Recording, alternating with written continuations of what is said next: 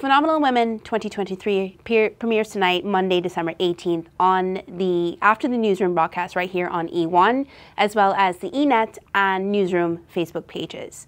And Phenomenal Women is a series that highlights five phenomenal women in five different categories. And those categories are oil and gas, sports, business entrepreneurship, health, and arts, culture, and education. Each night this week is a different woman.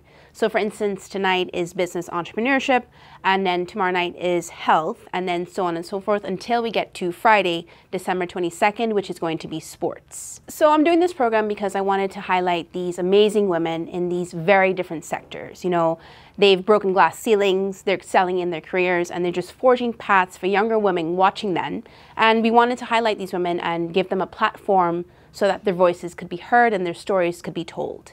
We've received a lot of support from many different companies. Corporate Guyana really stepped up and helped us helped us to produce this amazing series.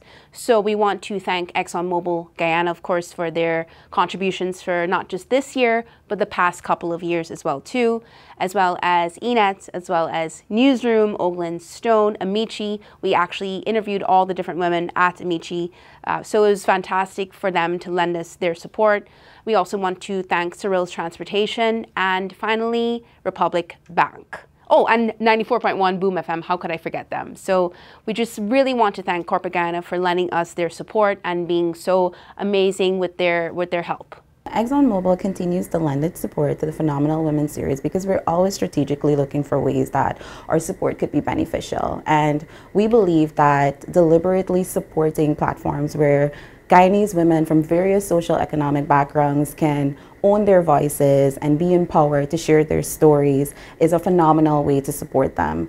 Um, we believe that once these stories or these experiences are shared, it can it can have a lasting impact on the lives of others who are exposed to their stories. We know that there are multiple barriers that continues to limit women's access to resources and an environment that is conducive to their success. So it's absolutely necessary for us to not only highlight but celebrate the achievements of these amazing women across all sectors sectors and at the same time create a call to action where we can challenge inequality, call out bias, and then question stereotypes. So ExxonMobil believes that making valuable social contributions is essential for the business's success and sustainability, not just from the stance of ethics, but we believe that it makes perfect business sense people who are empowered do extraordinary things. So we will continue to drive empowerment through youth community, and women initiatives across the country.